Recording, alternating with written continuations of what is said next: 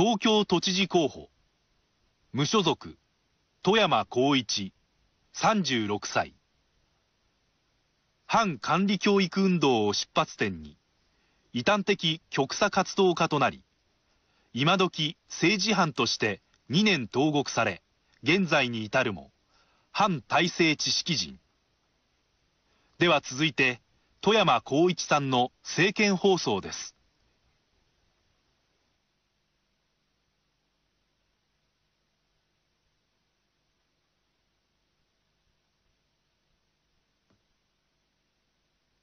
有権者諸君、私が富山光一である。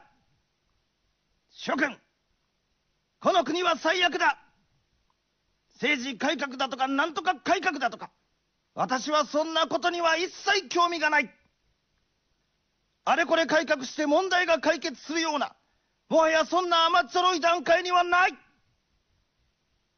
こんな国はもう見捨てるしかないんだ。こんな国はもう滅ぼせ。私には、建設的な提案なんか一つもない。今はただ、スクラップスクラップ、すべてをぶち壊すことだ。諸君、私は諸君を軽蔑している。このくだらない国を、そのシステムを支えてきたのは諸君に他ならないからだ。正確に言えば、諸君の中の多数派は、私の敵だ私は、諸君の中の少数派に呼びかけている。少数派の諸君、今こそ団結し、立ち上がらなければならない。奴ら多数派はやりたい放題だ。我々少数派が、いよいよもって生きにくい世の中が作られようとしている。少数派の諸君、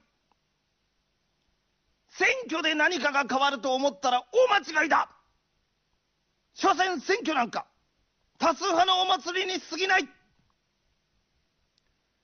我々少数派にとって選挙ほどバカバカしいものはない。多数決で決めれば、多数派が勝つに決まってるじゃないか。じゃあどうして立候補してんのか。その話は、長くなるから。掲示板のポスターを見てくれ。ポスターは2種類あるから、どちらも見逃さないように。私は、この国の少数派に対する迫害にもう我慢ならない。少数派の諸君、多数派を説得することなどできない。奴ら多数派は、我々少数派の声に耳を傾けることはない。奴ら多数派が支配する、こんなくだらない国は、もはや滅ぼす以外にない改革なんかいくらやったって無駄だ今進められている様々な改革は、どうせ全部全て奴ら多数派のための改革じゃないか。我々少数派は、そんなものに期待しないし、もちろん協力もしない。我々少数派はもうこんな国に何も望まない。我々少数派に残された選択肢はただ一つ。こんな国はもう滅ぼすことだ。ぶっちゃけて言えば、もはや政府転覆しかない少数派の諸君これを機会に、政府転覆の恐ろしい陰謀を共に進めていこうではないか。ポスターに連絡先が書いてあるから、選挙期間中でも、終わってからでも構わない。私に一本電話を入れてくれ。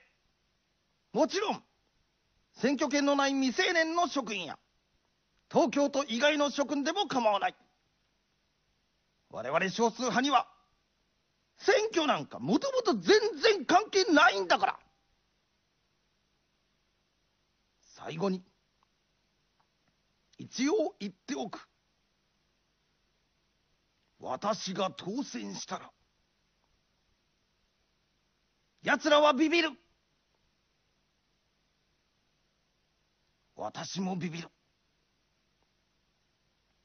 富山光一に悪意の一票を、富山光一にやけっぱちの一票を、じゃなきゃ投票なんか行くな。どうせ選挙じゃ何も変わらないんだよ。